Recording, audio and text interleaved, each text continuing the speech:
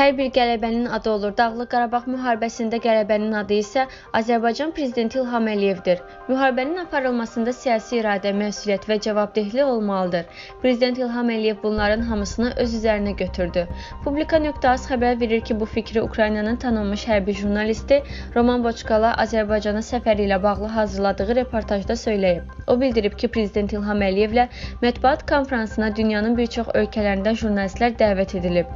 Mətbuat konfransında konfransında Azərbaycanın tez bir zamanda necə uğurlu hərbi əməliyyatlar keçirməsinə aydınlıq gətirilib. Reportajda dövlət başçısının 44 günlük müharibədə həyata keçirilən uğurlu hərbi əməliyyatlarına dair statlarına, tətbiq edilən müasir silahlar barədə məlumatlarına yer ayrılıb. Boçkala vurğulayıb ki, baxmayaraq mətbuat konfransı koronavirusa görə onlayn rejimdə keçirildi, ancaq prezident İlham Əliyevin bütün suallara ətraflı, faktlara, rəqəmlərə söykənən cavabı onu heyrətləndirirdi. Bütün bunlar Azərbaycan prezidentinin ölkənin hər bir hadisəsinə ciddi nəzarət etdiyini bir daha göstərdi. Jurnalist qeyd edib ki, bununla Azərbaycanın gözəl gələcəyinin olacağı və hər bir prosesin nəzarətdə olduğu göz qabağındadır.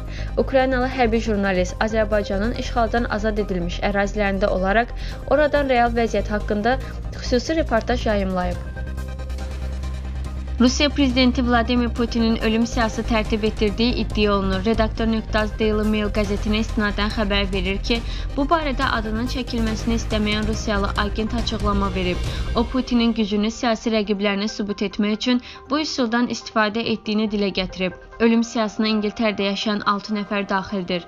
Agent siyahıda Bill Broderin keçmiş M16 əməkdaşı Christopher Stilində yer aldığını iddia edib. O həmçinin Rusiyanın Meşə adı ilə tanınan kəşfiyyat xidməti SVR-ə Mixail Xodorovskini aradan götürməklə bağlı təlimat verildiyini də bildirib. Sözügedən şəxs Rusiya Federal Təhlükəsizlik Xidmətində çalışır. Agentin bu açıqlamasının İngiltərə Baş naziri Boris Johnsonun Rusiyanı İngiltərə üçün ən ciddi təhdid olaraq xarakterizə etməsindən sonra yayılması da diqqət çəkib.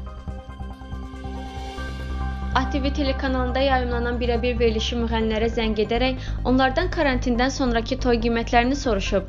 Onlar el şənliklərinə icazə veriləcəyi halda qonorara endirim edəcəklərini söyləyiblər. Yeni Sabah.az xəbər verir ki, sənət adamları məclislərin tam və yarım saatlıq toy qiymətlərini açıqlayıblar. Əməkdar artist Elnarə Abdullayeva yarım saat üçün 3000-3500 manata getdiyini söyləyib. Müğənni Bahar Lətif qızı bütün toyu əvvəl 3000 manata apardığını, indi isə 2500 500 manata razılaşacağını deyib. O endirim istəyəndə isə belə cavab verib. Karantində biz də çörək yeməmişik, endirim edirik. Əvvəl 3000 manat idi, indi 2500 manat. Əvvəl yarım saata 1500 manat idi, indi endirim edirik.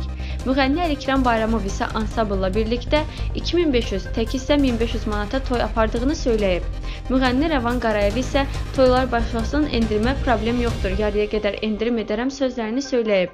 Axşam Nöqtazın yazdığı məlumata görə müğənni Səyyad Əlizadə ansamblla birlikdə 5000-6000 manatdır. Tək isə yarım saatlıq 1500 manatdır. Toylar dəqiqləşsin, endirim olacaq. Ansamblla 5000 manata gələ bilərəm. Dəqiq olsa yarım saatı da 1200-1300 manat edərik deyə cavab verib. Müğənni Afət Fərmanqızı isə bütün toyu 5000 manat apardığını vurğulayıb. O bildirib ki, hazırda 40-a yaxın toyun behinə alıb. İfaçı pandemiyaya görə endirim də edəcəyini bildirib. Ermənistanda hakim partiyanın erkən seçkilərdə baş naziri postuna namizəd Nikol Paşinyan olacaq. Milli Nöqtaz Qafqaz Infoya istinadən xəbər verir ki, bu barədə Ermənistanın Ədliyyə naziri Rüstəm Badasyan parlamentdə jurnalistlərə açıqlamasında bildirib. Düşünürəm ki, sualın cavabı aydındır. Heç bir müzakirəyə qatılmadım və idarə heyətinin üzvü deyiləm, amma cavab aydındır, o qeyd edib. Onun sözlərinə görə hər şey vətəndaşların seçimindən asılı olacaq. Belə ki, hakimiyyət onlara bu fürsəti tanımalıdır. Xatırladaq ki, Ermənistan Ermənistanın parlament qüvvələrinin və siyasi partiyalarının konsensurasından sonra ölkədə iyunun 20-sində növbədənkənar parlament seçkiləri keçiriləcək. Prezident İlham Əliyevin bu günlərdə imzaladığı əfv sərəncamından sonra azadlığa çıxmış keçmiş məhbuslar ölkə həbsxanalarındakı vəziyyətə diqqəti çəkib. Pravda.az-ın xəbərinə görə xüsusilə 16 saylı cəzaçəkmə müəssisəsində saxlanılan məhkumlar bu müəssisədə dəhşətli işgəncələrin olmasına dair xəbərlər yayır. Bununla bağlı xəbərlər artıq sosial şəbəkələrin əsas müzakirə mövzusuna çevrilib. Həmin məlumatlarda iddia olunur ki, 16 saylı cəza çəkmə müəssisəsinin rəis müavini Emin Eminəliyev məhkumlara işgəncə verir. Hətta bəzi keçmiş siyasi məhkumlar onun bir sıra psixoloji probleminin olduğunu iddia edərək əlavə edirlər ki, Emin Eminəliyev ondan edilən heç bir şikayətlərə əhəmiyyət vermir. Onun işgəncə metodları barədə yazan keçmiş məhkumlar qeyd edir ki, ən alçaldıcı üsullarla məhbuslara işgəncə verir. Hüquq müdafiəçisi Rüfət Səfərov isə penitensiar xidmətinin rəhbərliyini bu faktda diqqət çəkməyə çağırıb. Məsələ ilə bağlı Ədliyyə Nazirliyinin penitensiar xidmətinin mövqeyini öyrənməyə çalışsaq da, qeyri-iş günləri olduğundan bu cəhdimiz baş tutmadı. Vətən müharibəsi dövründə Ermənistan silahlı qüvvələri münaqişə zonasından və cəbhə xəttindən uzaqda yerləşən şəhər və rayonlardakı mülki əhalimizi, eləcə də infrastruktur obyektlərini hədəf seçmiş, müxtəlif növ silahlarla, artilleriya və ballistik raketlərlə atəşə tutaraq insanlıq əleyhinə cinayətlər və müharibə cinayətləri törədib.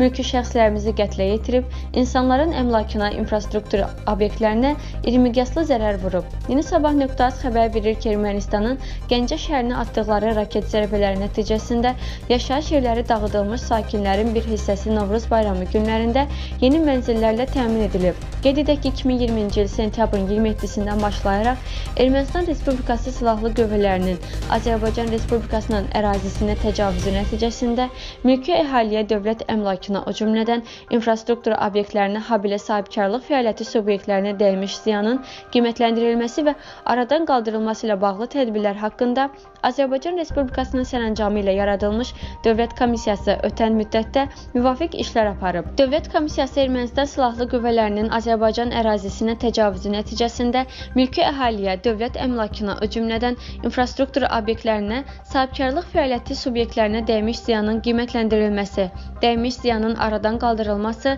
zərər vurulmuş obyektlərin tam bərpası və təmir-tikinti işlərinin həyata keçirilməsi üçün tələb olunan maliyyə vəsaiti barədə təkliflərin təqdim edilməsi tapşırılıb. Dövlət Komissiyası tərəfindən ilkin mərhələdə raket zərbələri nəticəsində dağıntıya məruz qalmış çoxmənzilli yaşayış binalarında yaşayan 89 ailə müəyyən edilib. Həmin binalarda yaşayan 66 ailə Azərbaycan Respublikası Mənzil İnşaatı Dövlət Agentliyi tərəfindən inşa edilən Gəncə şəhəri Azərbaycan bayrağı küçəsi 272 ünvanında yerləşən yeni yaşayış kompleksində tam təmirli mənzillərlə təmin ediliblər. Mənzillərin bölgüsü vətəndaşlara məxsus yaşayış sahələrinə müvafiq püşqatma yolu ilə müəyyən olub. Martın 4-də püşqatma nəticəsində 66 ailəyə aid 92 mənzilin yeni ünvanı müəyyən edilib və müvafiq sənədləşmə işinin aparılmasına başlanılıb. Novruz bayramı günlərində isə 60 mənzilə dair müvafiq sənədlər və mənzillərin açarları sahiblərinə təqdim edilib. Sənədləşmə işi hazırda davam edir. Silahlı qüvvələr siyasi məsələlərdə neytrallığını qoruyub saxlayacaq. Axar.az xəbər verir ki, bu sözləri Ermənistan baş qərargahının yeni rəisi Artak Davityan yaydığı bəyanatda bildirib. O deyib ki, silahlı qüvvələr qarşısına qoyulan tapşırığı yerinə yetirəcək və Ermənistanın təhlükəsizliyini təmin edəcək. O baş qərargahın baş naziri Nikol Paşinyanın istefasını tələb edən bəyanatından sonra situasiyanın ordu rəhbərliyində həll edildiyini, prosesin qanuni müstəviyə keçdiyini vurğulayıb. Ermənistan silahlı qüvvələri konstitusiyaya uyğun olaraq hökumətə tabedir və siyasi məsələlərdə neytrallığını saxlayır, təhlükəsizliyini, Ermənistanın ərazi bütövlüyünü və toxunulmazlığını təmin edir. Qeyd edək ki, bugün Nikol Paşinyan Artak Davityanın artıq baş qərargah rəisi vəzifəsinin icrasına başladığını bildirib. Davityan 24 may 2018-ci ildən baş qərargah rəisi vəzifəsinə təyin edilmişdi. Lakin koronavirus məhdudiyyəti zamanı oğluna toy etdiyi üçün vəzifəsindən azad edilmişdi. Baş qərargahın Paşinyana qarşı son bəyanatından sonra baş nazir Davityanı yenidən bu vəzifəyə təyin edib. Ərəblərin Qax dövlət yasaqlığının ərazisinə düşən Acınohur çölündə göyərçini drona bağlayıb şahinlərə təlim keçməsi qəbul olunmazdır. Bunu Pravda.az açıqlamasında Ağ Partiyanın sədri Tural Abbaslı deyib. Tural Abbaslı bildirib ki, bunun kimlərəsə adi hal kimi görünməsi mümkündür. Amma elə deyil. Düşünə bilərlər ki, ölkədə turizm inkişaf edir, əcnəbilər gəlir, pul xərcləyir və s. Onların təlim keçdikləri quşların ölkəyə gətirilməsi üçün müxtəlif prosedurlardan keçmək lazımdır. Amma nəzərə almaq lazımdır lazımdır ki, pandemiya ilə əlaqədar turist səfərləri dayandırılıb, viza verilmir. Belə olan halda həmin turistlər hansı vasitə və niyyətlə gəliblər? Çünki turist vizası ilə gəlmək mümkün deyil. Gömrükdən quşları necə keçiriblər? Buna Dövlət Gömrük Komitəsinin, Dövlət Sərhəd Xidmətinin rəhbərliyi cavab verməlidir. Ərəblərin o ərazidə istirahət etməsinə kim şərait yaradıb? Video görüntülərdən məlum olur ki, onlar üçün bütün imkanlar yaradılıb. Bu bir günün işi deyil. Bildirilir ki, ərazi özəl mülkiyyətdir. Elədirsə adını açıqlasınlar. Tərcüməçi ərəblərin Kəmaləddin Heydərovun qonaqları olduğunu bildirir. Amma nazir bu məsələyə reaksiya verməyib. Ya təqzib ya da təsdiq etsin. Digər məsələ drondan istifadədir. Bilirik ki, dronun ölkəyə gətirilməsi bir neçə dövlət qurumundan razılıq almaq lazımdır. Dron kimin adınadır? Axı bunlar qeydiyyata alınır. Ekologiya və Təbii Sərvətlər Nazirliyinin əməkdaşı sıravi şəxsin tapşırığı ilə onlara şərait yaratmaz. Görünür tapşırıq yüksək səviyyədə verilib. Dövlətlərarası münasibətlərin qorunması bəzi hallarda hallarda şəxsi ünsiyyətdən keçir. Əgər belə idisə, ora mühafizə olunmalı idi. Kənar şəxslər də yaxınlaşanda deyilərdi ki, dövlət tədbiridir, mane olmayın. Amma rəsmi mövqedə bildirilir ki, ərəblər cərimələnib, yəni onlar turistdirlər. Adiyyata dövlət qurumları hesabat verməlidirlər. Biz küçədə sərbəst gəzə bilmirik, maskasız gəzəndə cərimə yazırlar. Amma kənardan gələnlər istədiyi hərəkət edirlər.